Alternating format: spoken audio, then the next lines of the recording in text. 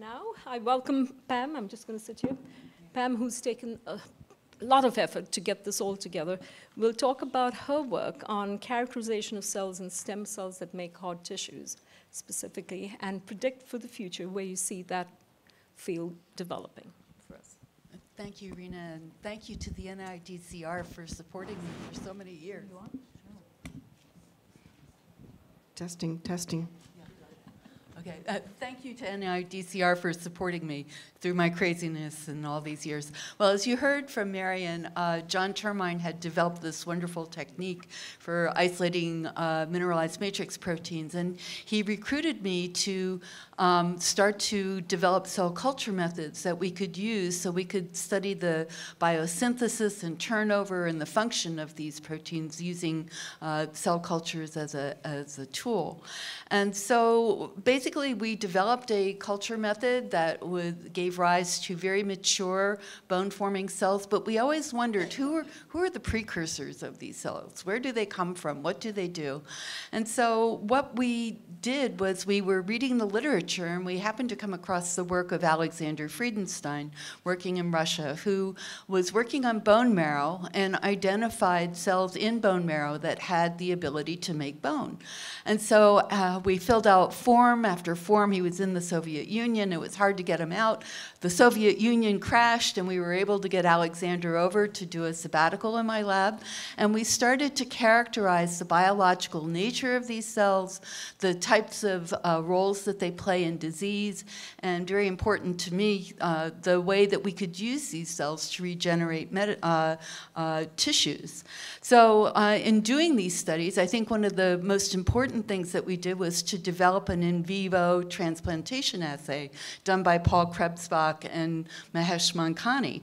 And this has really become the gold standard by which we can identify osteogenic cells.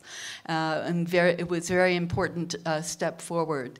And then using the methods that we had developed for looking at bone marrow stromal cells, Song-Tao Shi and Stan Gronthos and others that came after them uh, identified cells that were very similar but not identical in dental pulp in periodontal ligament and in apical papillae. Uh, these cells were very similar because they're very fibroblastic in nature, but when we did the in vivo transplant assays, we found that they did very different things, that the dental pulp made dentin and a pulp-like complex, and PDL cells made PDL and cementum, and the dental papillae cells made copious amounts of dentin. So this taught us that these fibroblastic cells may have a very similar surface, but when you scratch beneath the surface, they actually do quite different things. And this is a principle that we have now identified in many other uh, connective tissues. Um, the other thing that we noticed was that these cells not only make bone, but they control the destruction of bone by controlling osteoclasts.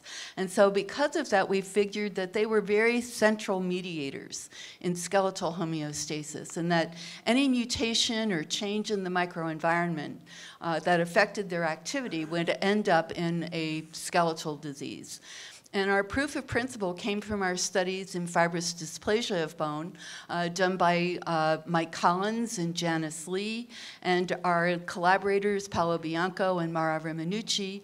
And what we figured out is that this disease, which gives rise to terrible lesions that lead to deformity and fracture, was really a disease of bone marrow stromal cells gone haywire.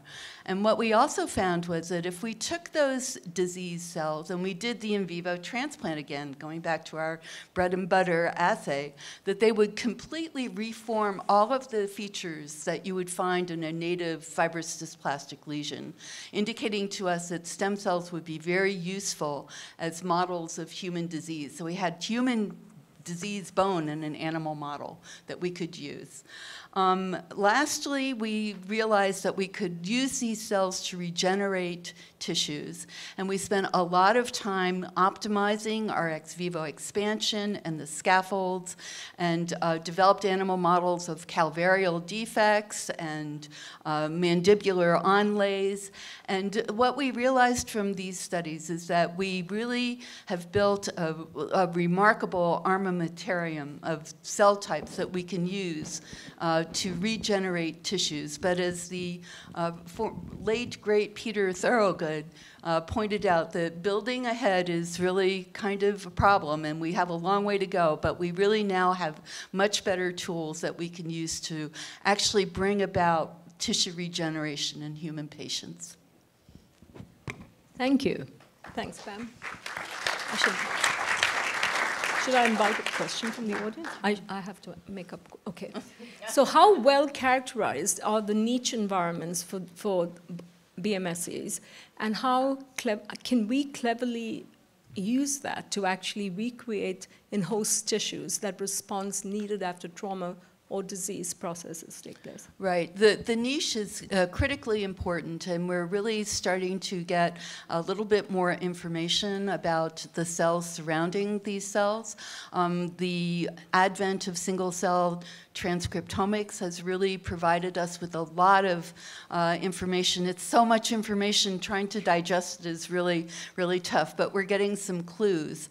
Um, and I think that uh, if we start to understand how we can manipulate that microenvironment, that we could maybe uh, stimulate cells to regenerate a tissue on their own. But there comes a time when trauma overcomes everything, and you have to really add cells back. And actually, uh, uh, under Larry's uh, um, uh, uh, tenure, we thought about thinking of ways to build a tooth. We actually had a, an initiative to maybe try and use these cells to rebuild a tooth. And I'll never forget, he said to me, but the one thing that you guys have is the root. we have to build the root. And I think that that is now kind of progressing. And maybe at some point we can build a tooth. And that would be my goal. Yes, that's, that's great to know, and we look forward to that. So for the rest of you, please predict a vision and your aha moments that you would want to see 25 years from now. Uh, thank you, Pam.